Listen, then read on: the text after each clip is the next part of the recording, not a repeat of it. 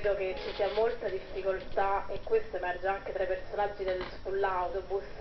di riconoscersi nell'altro e quindi questo secondo me è vero, forse è il, vero, è il, vero, deficit di questo libro, cioè non tanto la prosopagnosia quanto la difficoltà degli esseri umani eh, di dire che sono sempre affiancati da esseri umani. Una malinconia che Borghese attengono disegnando per la bozzetti di vita romana, quelli dei mercati rionali, gli altri dedicati all'impossibile mobilità di Roma, che in prigione sequestra migliaia di individui isolandoli dal resto del mondo. Gli amori infelici non finiscono mai, raccoglie anche la cronaca della rivolta degli uomini in blu. Gli autisti dei mezzi pubblici, le piazzette viaggianti, trasportano qua e altrove storie, sofferenze e passioni.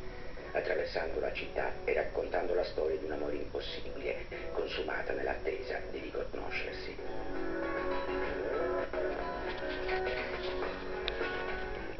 Siamo a Roma nel 1683, la morte misteriosa di un viaggiatore, una locanda dal via al giallo, la cui soluzione è affidata ad un agente segreto del Re Sole che agisce sotto le mentite spoglie di Abate. Non è semplice un omicidio, ma il cuore di un intrigo internazionale, mentre i turchi premono alle porte dell'Europa cristiana diversi secoli dopo un anziano prelato svelerà il grandioso complotto.